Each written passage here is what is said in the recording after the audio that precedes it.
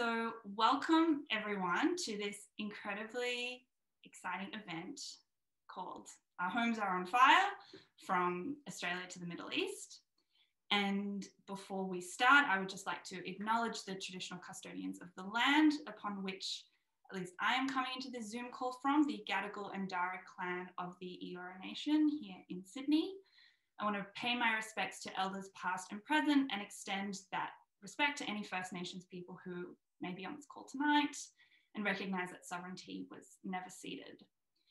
If everyone, as like a little short intro, just wants to pop into the chat their name and if they know it, the name of the traditional land that they are calling in from, if you're coming from Australia, so we can get a sense of who's here and where you're all coming from, that would be great while I just kind of do some of the more admin stuff. So, you know, like I said, tonight is a really special and exciting event. We are joined by four really amazing um, climate activists that are coming to us from four different places in Australia, Israel, Palestine, and Jordan. And I'll come and back to that and introduce them in a minute.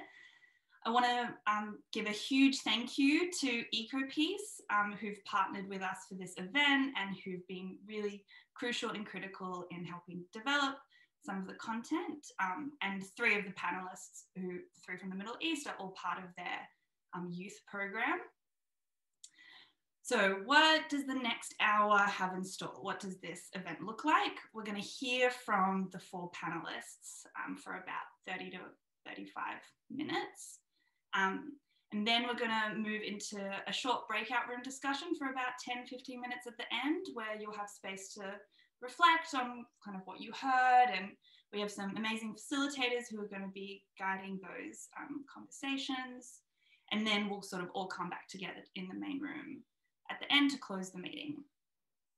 I also just want to flag that this event is being recorded so that we can upload it onto our YouTube channel, which is public um, and send it to people who are unable to attend tonight. However, the breakout room section of the event isn't going to be recorded. Um, so feel free to speak freely. Don't be stressed about, um, you know, whatever you share in your breakout rooms being then put on the internet. That's, we're not gonna upload that. Just quickly, general Zoom etiquette, which I think everyone should be around. Keep yourself on mute when you're not um, speaking. Um, we'll also, like, I encourage you to turn your camera on if you haven't already so we can see everyone. And um, also throughout the conversation, if you kind of have any thoughts or like questions for like the discussion, feel free to pop them in the chat. And if we have time and if we're able to, then maybe we'll address them or incorporate them into um, our discussion, but we'll kind of see. So now to introduce the three organizations that are here tonight, part of this event. First of all, um, we have the New Israel Fund, which I think you're all familiar with, but just in case anyone isn't, we are a partnership of Israelis and supporters, supporters of Israel worldwide who are dedicated to a vision of Israel as both a Jewish homeland and a democracy for all of its citizens. We promote freedom, equality, and social justice in Israel by funding Israeli nonprofits and fostering new discussions like this one in the Australian Jewish community. I'm now going to hand over to Nawar, who's going to introduce EcoPeace, and then Ella is going to introduce the School Strike for Climate. Hello, everyone. Uh, firstly, we want to thank you actually for giving us this uh, opportunity to connect Australia with the Middle East. Uh, I want also to welcome my counterparts who are present here today. We have uh, Sigal from the Tel Aviv office, and we have Lisa also from the Tel Aviv office. Uh, Mahmoud has uh, shut down his camera, but he's uh, from the uh, Ramallah office. Uh, my name is Nawar, and I'm managing the educational programs at EcoPeace Middle East in Amman, in Jordan. And um, the organization was established uh, back in 1994, right after the peace treaty between Jordan and Israel.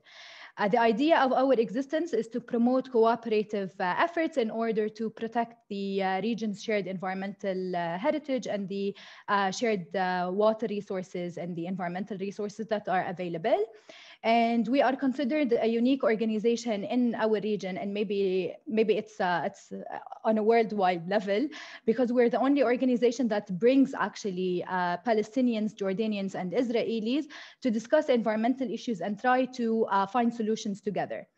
Uh, in order to promote our vision, uh, we combine a bottom-up and uh, a top-down approach.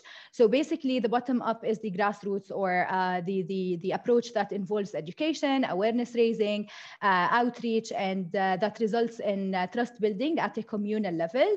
Uh, whereas the top-down um, approach is more of sharing scientific papers as tools for advocacy and so on. And it's, it's considered the, the short-term vision of of the, uh, of the organization. And we are gathered here today uh, to talk about the bottom-up approach that we implement as part of the Good Water Neighbors program, uh, which is the flagship uh, program of EcoPeace that was launched back in 2001. And we are now in the fourth phase of that, uh, of that uh, program and it started in 2018. Um, we believe that, or it, it's not that we believe, it's, it's, uh, it's a scientific uh, saying that says that uh, human nature tends to focus on, uh, on problems when we lack education, when we lack the power of knowledge. So what we do as, uh, as an organization is that we, we empower youth aged between 15 to 17 and their teachers, and we also build the capacities of young professionals uh, aged between 21 to 35 in order to open their eyes to the consequences that we are going to confront if we do not work together and if we do not collaborate in order to uh, find sustainable solutions to the current environmental problems uh, while focusing on the uh, water realities in our region. And that's basically what we do. Like this is the the, the sum up of uh, of the uh, more than 20 years of working in the region in five minutes. So i now hand it back to you eve. Thanks. I'll just hand it over to ella um, hi, I'm Ella, and I'm on um, Wurundjeri land here in so-called Melbourne, and I'm kind of representing School Strike for Climate, which is the Australian like Fridays for Future. Um, and so I've been part of School Strike for about three years now, and it's been a very long journey. And I'm I was 12 when I started, so it's very exciting to see how from a young age you can go on to a lot bigger things. Um, and I guess School Strike is like the largest youth climate action group in Australia. Um, and we have like three demands, but these pretty much cover across like getting government to create publicly owned um, renewable energy and setting um, urgent targets to like continue to reach our Paris Agreement obligations um, and what we need to happen. And so, yeah, I like work on campaigns with School Strike and other campaigns with the Australian Youth Climate Coalition, another youth run organisation, um, and also many things within the Jewish community and like my Jewish primary school, helping get solar panels on our schools and within Jewish youth groups, educating and empowering um, younger kids. Oh, Thanks, Ella and Nawar. So I'll quickly introduce each panelist and they'll give a little wave as I say their names. Um, so as we've just heard, we've got um, Ella Simons from Melbourne in Australia. We have Suad Sami from Artas Village in the West Bank. We have Daad um, Tamimi from Amman in Jordan. And we have Michael Backlund from Israel. And I'm not actually sure what part of Israel you're from, Michael, but you can mention that when we move on to you. Um, so now we're kind of um, just for all four of you, how did you get involved in the organization that you're part of? Um, and sort of what is your role now? Like, what is your contribution to the organization? Daad, would you like to kick us off? Hi, everyone. Um, my name is Daad. Um, I've been involved in like environmental issues ever since I was a little girl because my mom like uh, my mom is uh, involved in envi- environmental issues too. And she kind of raised me to um, speak up especially in, our, in my community and in my school. And she is she's been involved with EcoPeace like since a long like and then sorry since a long time. So um i kind of i was always loosely involved with them but after like um a certain amount of time. So maybe like two years ago i became more involved. So i started joining their youth programs and i became a speaker um, with them.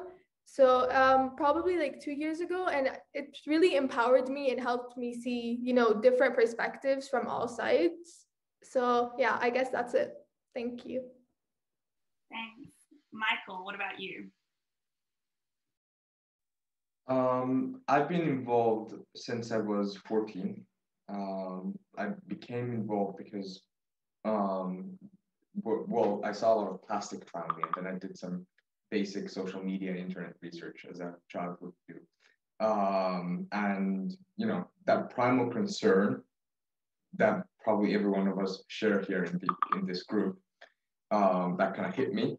Um, and then I started to act more, um, find new mediums to help, do basically everything that I can.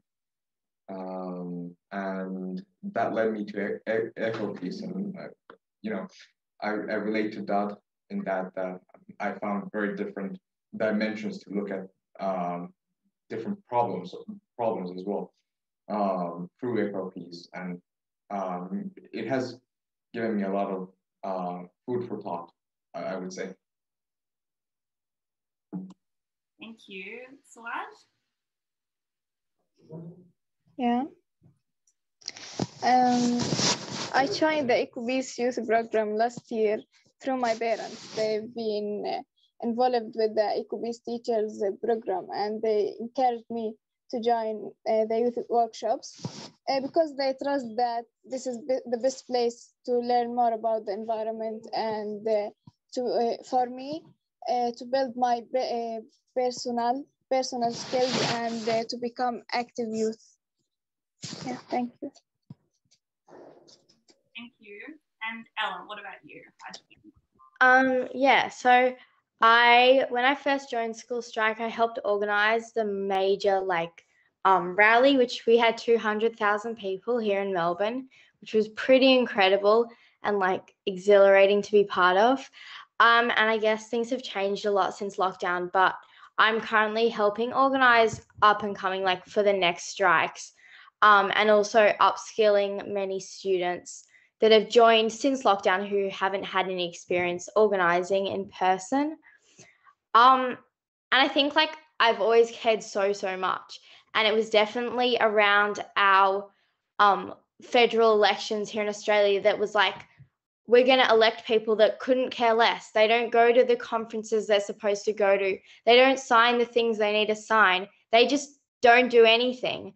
And so I don't have, I'm not allowed to vote yet. And so I had to use all the power I have to convince the people that can vote to vote in a way that's going to protect my future and everyone else's.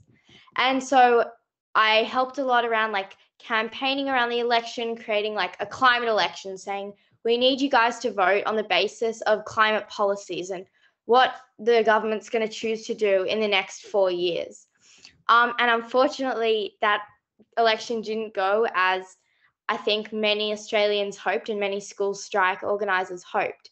And so, like, straight after that, it was just continuously campaigning for our parties to change their policies because they have not reached any targets set. Um, and so, I guess it's currently just working towards goals of like bec- becoming 100% renewable by 2030 um, and helping go reach out to communities in the fossil fuel industry and also frontline um, and First Nations communities that are suffering the most from the climate effects currently in Australia, um, and helping these people transition over to like renewable energy jobs, and also educating people on like voting um, and on just like climate science, pretty much. And so working on all those different things. Yeah thank you. So, sounds like you all do a lot, um, and it's amazing to hear how you all like find the organizations that you're working with a really empowering way to, as young people, to advocate for the things you care about and to make connections with new people and look at things from a different different lens. and also interesting to see how all your like for some of you, your parents have been part of that, um, pushing you in that direction and encouraging you to take action, which is really lovely to hear. Um, so, you know, often like everyone kind of on this call comes from maybe what people might refer to as like smaller countries or less important countries when it comes to comes to global climate action and when they talk, talk about the amount of emissions in the world people say we should just be waiting on countries like china or the us to um, take action and then you will see like countries like ours will follow suit and then you can also sort of hear people talking about um, how you know, I'm just one person. How is that going to make a difference? Like, whatever I do in my life, how do I know that's going to contribute what's needed? And this issue of tackling climate feels so overwhelming um, that we can feel quite alone. And especially when we're young, sort of knowing what to do about it um, can feel difficult and you don't know where to begin. So I'm very curious to hear from each of you what your attitude to that question is and how can you, do you see yourself um, being part of creating a wave of change in the work that you're doing. We'll just go in the same speaking order as before. Okay, so should I start?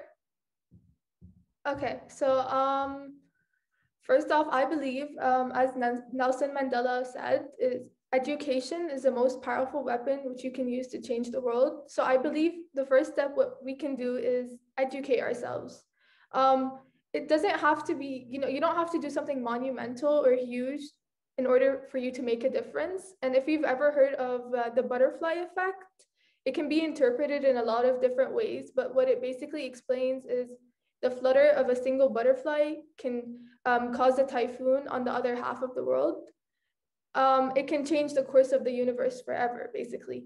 And the same goes for us as people, as individuals, because no matter how small your action might be, it might lead, it, it might be an agent for change. You might build the foundation for something better, uh, for something better, for something you can better yourself with, for something you can better your country with, your uh, friends with. So yeah, that's basically it. Thanks, Michael. What about you? What do you think about that?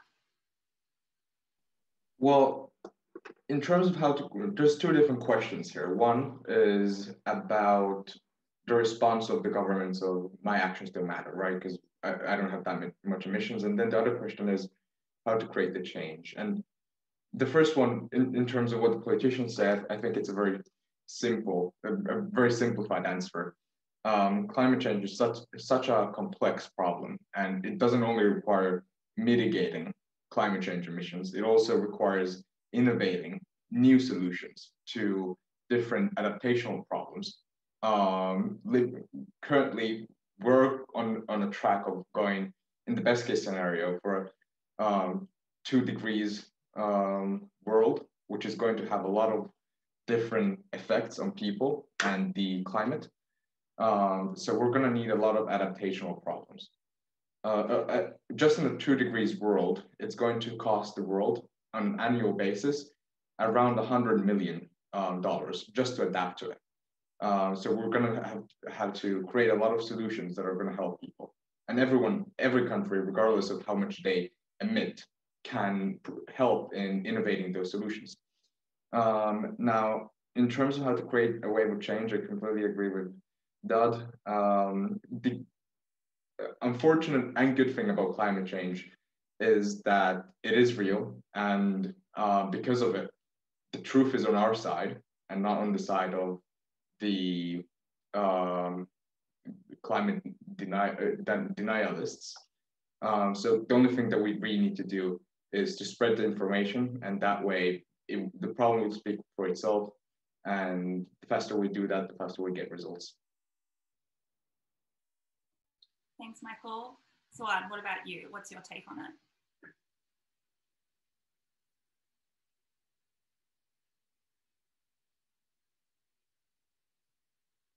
So are you still with us? Yes, yes, but but, but there, there's I, I'm here, but there's a problem with microphone. So um, environment education become among my top priorities. I have shared my my EcoBeast environmental experience with, with many of my friends in school and my community. And I'm, uh, I'm always planning to conduct environment awareness campaign, campaigns to sp- uh, spread this awareness among uh, other youth and even my uh, teachers because I always believe that to change my environment to better, it's our own responsibility to change our behavior towards it. Thank you. Thank you. And last but not least, Ella, what do you think? What do you kind of tell people in response to those attitudes? Yeah, I think when I when people say things that like, oh, we're waiting on this country or nothing's gonna happen if Australia if the US doesn't do it, if China doesn't do it, it just shows that like they don't have any hope at all and that they're relying on other people to make this change and to take this action. And I think it's really important that when there's like a whole wide movement, just how our society works is every single person has a role in our society and your life plays out because everyone, you go to the shops and there's someone that works at the shops and how you get your food and everything. There's always people behind it and there's always people that you then give to. And so I think it's really key to look up and see that like we all are contributing and we all need to take action together and we all take different types of action. And it's really important that say if here in Australia where I have a voice that like when I am able to vote, my vote is really important and I know that my vote makes a big difference, that I use that to vote and that I use my friends and my family and everyone around me that I can talk to and have these conversations about to get them to vote. And so it's about using your community and the resources you have and however much time you have to do what you can. And to really show that, like, whatever role you play, we're not waiting for anybody else. We can't wait for them. This is an urgent issue, and action needs to be taken, like, right now, as soon as we can. Yeah, Thank you everyone for sharing your thoughts on that. Suad, I'm really interested to hear about some of the um, challenges that you've had in like working with EcoPeace or things you've different um, you've had to overcome because this is really great work, but it's not easy all the time. And sometimes like, how do you kind of keep going? Yeah. Actually, I, I, I have not يعني not the a lot of problems with uh, with the organization and uh, joining with it but uh, the world peace has become a complication for the Palestinian people because of the crimes uh, uh, committed by the occupation uh, authorities under the so, so, slogan to, to, of peace, such as settlements and blund, plundering lands. that's it يعني with my community. Right. Um, and so how is that kind of tied into some of the work that you do with EcoPeace, do you think? I think by uh, change the mind of uh, of the youth youth uh, youth people uh, by uh, shared uh, our awareness in in uh, in occupation in uh, organization uh, with uh, our friends in uh, schools and community to uh, to see our to see our people that in the the peace is to to to our own um, important thing. Yeah, yeah. Thank you. Thank you for sharing. Um, Ella, I might hand it back to you yes. to talk about some of the inspiring moments you've had. I mean, you're what, 14 now? You've already helped organize like a national strike, um, and you've been around for two, three years in the movement. So, what, what's been some really powerful moments for you in the work you've done? I think also sorry about the notifications. Um, I think that like moments at strikes, like on September 20, when we had that many people at a strike, it was incredible to see how like 12 teenagers under the age of like 16 could bring together 200,000 students that maybe didn't care before, but now they do care and they've taken the time to come and do something. And so it's really the moments like straight after an event or something when I can talk to organizers and be like, how the hell did we do that? Or like, like whether there was a large amount of people or whether you had just like one incredible conversation with somebody that you feel made a difference. Even after the election, which didn't go as planned, I had had so many incredible conversations that it was just like to be proud that you had talked to people and had a genuine conversation, teaching someone and learning from them as well. Um, I found really incredible. Thank you. And it's great. I'm sure all those moments add up, and when things are a bit more difficult, you can hold on to those to kind of keep going and keep doing the work. Um, Da'ad, I know that you've sort of done a lot of work, not like with the things you've done in EcoPeace, which is you know working across different regions. You've tried to bring some of that to your school and to your community, and I was wondering if you could talk to us a little bit about what sort of that has been like on the more local level with some of the work you've done in Jordan. Um, so I've been working on a lot of recent projects with um, my classmates in my school um, in order to like collaborate, especially since my like my school is considered uh, more upper class than usually um, the people we work with. So because they're not affected by you know environmental issues as much as people in poorer regions in Jordan and in Palestine. So I've been trying to um, work with them to raise awareness and bring, uh, you know, uh, bring their resources over. So one of the examples I've been working on recently is uh, a project I called the Dots of Hope, which is basically uh, drops are dots of hope. And I've been working with my school. So collaboratively, we've been raising money through a bake sale. So basically we would hold a bake, bake sale in school and we would raise money and what we would do is we would go to the Jordan Valley and we would build something called the gray water system, which is where basically they recycle water um, that we use in baths and in uh, you know the household system, and we use it for irrigation again. So what we've been doing is we've created a social media account. We've been trying to campaign for it, um, and we've raised like quite a substantial amount of money. And we were in the process of um, implementing it and we uh, we went and we saw where we're going to implement it so we went down to the jordan valley. Um, but you know it's it's kind of hard right now because of all the covid restrictions and everything so we've, we've been hoping hoping like after a bit we can uh, resume it. But i've seen like great results with it because it also educates people who might have not been aware that we have environmental issues that we are one of the poorest countries in the world when it comes to water, when it comes to um, environment, our environment, and how we should conserve it. So I think it's really important and it's been a really great experience for everyone.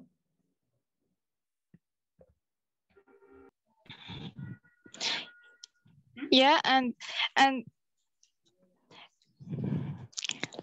and when then I, I think when I want to add something, I can. Uh, I, I see that uh, when uh, when the new generation and youth get to know how climate change might affect our limited water and natural resources, this can help to encourage everyone to work together and celebrate before it is too late that climate change might be our uh, greatest uh, threat, uh, threat of, uh, to our uh, shared and limited water and natural resources. We are working with other uh, youth to spread this awareness. Thank you. Thanks, Suad. Yeah, and I feel like that's really one of the amazing things that comes out of EcoPeace is this understanding that resources like water is a shared resource in the region and it's important to everyone. And like like Michael was saying before, um, we're all going to be impacted by climate change. It's coming, um, slash is here, and we need to be doing things to kind of prepare for that. And working collectively is a really amazing way to um, to, to start getting there. So thank you both for sharing those thoughts and those stories. Um, Michael, I was actually wondering if I could hand over to you to talk about that a bit more about what it's like, you know, your thoughts on like water as a shared resource and um, some of the work you've been doing. Why is it so important to deal with now? Um, sure. So last year, uh, we had a meeting um, in Israel with our youth trustees.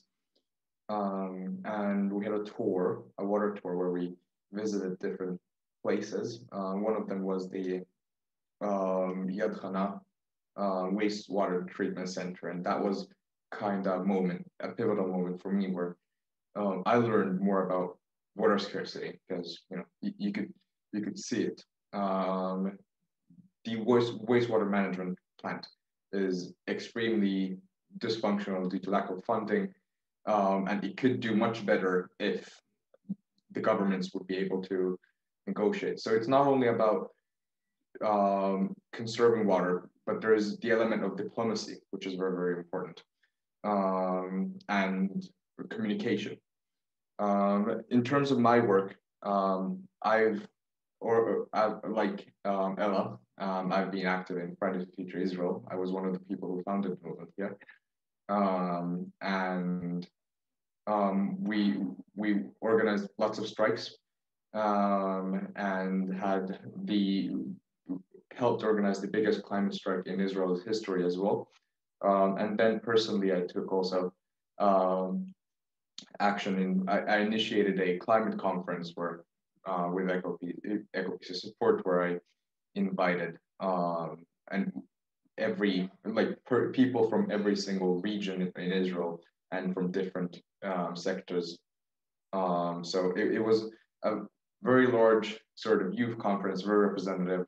We had politicians, ambassadors, climate scientists, NGO representatives, um, you name it, we had it. And um, then we came with sort of a policy suggestion to the government of Israel, which we presented in front of politicians. And it was a very positive um, and empowering experience. Thank you. That sounds really incredible. And a lot of what um, Nawar was talking about in terms of having that grassroots and top down approach, and how do you kind of bring, feel like you brought both of those things into the same room together, which is so important. Um, for our final question, I've just kind of keeping going on this theme of like collabor- collaboration and working together. Um, Ella, I was wondering if you can kind of reflect. I think with EcoPeace, it's very obvious what the like collaboration element is. There's three different regions working together. Um, in your work with Schools Strike for Climate, what has been some of the um, you know things that you've tried to reach out and collaborate with different groups what is some of the diversity within the movement that you've had to kind of work with and deal with if you could just speak to that um, yeah great. so um, obviously in australia and especially within like the climate movement um, talking about like the effect that colonization has had on climate change and like how we involve first nations people who know how to care for land the best out of everyone, how we involve them in the climate movement um, is really important. And I think it also takes a lot of effort to bring those people in because they have less resources and it's a lot harder to do such a thing. And so we tend to like reach out to First Nations communities so that at strikes and events we can hear from these people and like give them an opportunity to speak, um, uh, to learn about like land practice and whatnot. And I think it also for me really like is special between talking about like the First Nations and Jewish communities here in Australia um, and across the world. But like it always connects to me that First Nations communities and Jewish communities have always had a really good relationship here and to continue passing that on um, and continue having those conversations. And I think School Strike also like prides themselves on working with unions across the country and with faith communities um, and really diverse communities. And so for me, it's really important that we are continuing to reach out to these different communities. And like, um, from my perspective, going to a Jew- Jewish youth group, I love like talking about this and getting my Jewish youth groups, getting like the Jewish youth groups together to make banners and to come to the next rallies so we can really show that like these separate communities care. And when separate communities come together to create a bigger community, we can create much bigger things. And if it's also an issue that brings people together in solidarity and brings people together to show that we're all going to be affected by one united issue, then we must like create peace with each other and restore relationships with each other. yeah, really, really important. And it is amazing to see when you go to um, like a school climate strike rally, all the banners and the different groups. And it's a very visual representation of all the different people coming together, which is amazing. Um, thank you so much for sharing everyone your stories and your, I guess, thoughts and perspectives on this issue. We're gonna move into breakout rooms now for the next about 10, 15 minutes. We'll try and come back a little bit after 8.20 to the main room together. So the lovely Sharon Berger going to move us into breakout rooms now. And in there, you'll have some time to dis reflect, discuss. Your facilitators will lead you through the process. Thanks, everyone. Thanks, everyone, for contributing to discussions and um, to our facilitators for helping run those groups and sharing your thoughts. Um, so we're pretty much at the end of this event, but one last thing before you go. So we've heard a lot of amazing things from our panelists. We've had conversations about so many different topics. So what now? Do we end the Zoom call, go to bed and go, whoa, cool, that was I had such this interesting conversation um, about climate change and young people, and now I'm gonna carry on doing what I'm doing? Or do we take kind of the conversations we've had here tonight and the things that we've heard and try to like do something with that? Um, I hope you all go for the latter. And to help you with that, I've put together a handy little document, which I'm sending to the group ch uh, chat now, called What to Do Next. So some of the things in that you can do are if you want to learn more about EcoPeace, um, there's, um, you can sign up for their newsletter, there's a link there. Um, or if you want to contact um, Sigal, who maybe if you can give a little wave, who's in the Tel Aviv office, to learn more about their work, or if you want to connect to any of the panelists, just email, give her an email and she'll be able to hook you up. Um, if you want to support the School Strike for Climate movement in Australia, there's a list of um, their social medias to follow. I'm not sure how you guys may have been impacted by the Facebook ban, but anyway, there's also a newsletter you can sign up for. Um, and then what are actions that you can take in your own life? So um, and this kind of some of this came from a conversation I had with Ella is like, well, you can change your energy provider, you can switch to an ethical bank, you can switch superannuation funds. They're like some very practical things that you as an individual can do. And that can feel overwhelming where to begin. So there's some lovely resources on the internet, which I've included links for, of how you can go about doing that. If you want to learn more, um, you can read this great book by Rebecca Huntley called How to Talk About Climate Change in a Way That Makes a Difference. She's an Australian sociologist, um, and this book came out last year. Um, so give that a read, or even better, host a book club discussion about it. Get all your friends to read it um, and chat about what you think. Another great documentary you can watch if you want to learn more is the 2040 documentary, um, documentary slash film. Um, so watch it yourself, or again, even better, host a screening with your friends. Bring your family over after Shabbat, watch the movie all together, discuss it, get people thinking, talk about the issues. Um, and last but not least, you can contact your local council. Um, check out their website to see what your local council is doing about climate change. Give them a call to ask them. Um, and maybe there's some really exciting and cool projects happening in your local area that you can actually get involved in and support. So there's some really um, great things you can do.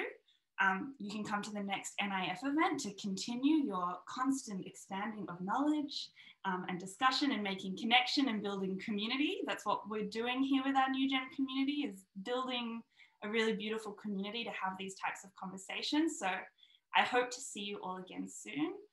Again, a massive, and I'll also be sending this all out in our follow-up email. So if you don't save it now, that's fine look out for your inbox and it will be there. A massive, massive thank you once again to our panelists, Ella, Daad, Michael, Suad. Thank you so much for taking the time, trying to coordinate between four different regions with different time zones and also you're all in high school so when are you not in school and when will australian young adults come to an event it was it was a bit hoops to jump through but we did it um, so thank you so much. A massive thanks to the staff um, at EcoPeace for also helping with those logistics and um, helping put this together. I think this was a really amazing night and you all helped to make it happen. Thanks to our small group leaders for facilitating and thank you to everyone for coming and contributing and just, again, being part of this great community. It's great to have you here. Bye, everyone. It was Bye. Thanks, guys. Bye, everyone. Thank you. Bye. Thank you. Bye.